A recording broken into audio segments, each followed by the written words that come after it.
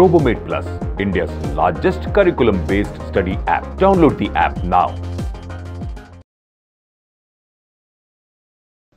Welcome back students. In the previous module, we studied about water table and groundwater. Our excessive use of groundwater has led to the depletion of water table. There are many factors affecting the water table. Three main factors affecting the water table are increase in the population, increase in the number of industries and increase in the agricultural activities. Now sometimes some region may receive very less rainfall and we know that groundwater is nothing but the rainwater which is seeped into the earth's crust. So scanty rainfall also acts as another factor that may deplete the water table. Deforestation also is another factor which affects the water table. As we deforest, there is a decrease in the effective area of seepage of water.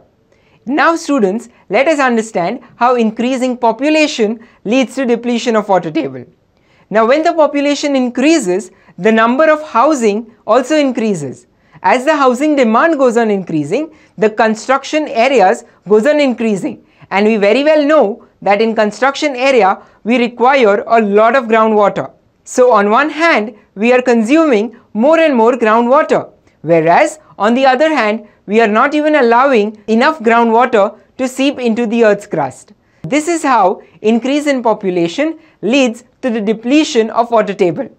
In fact, water table in some parts of many cities has gone down at an alarming low level.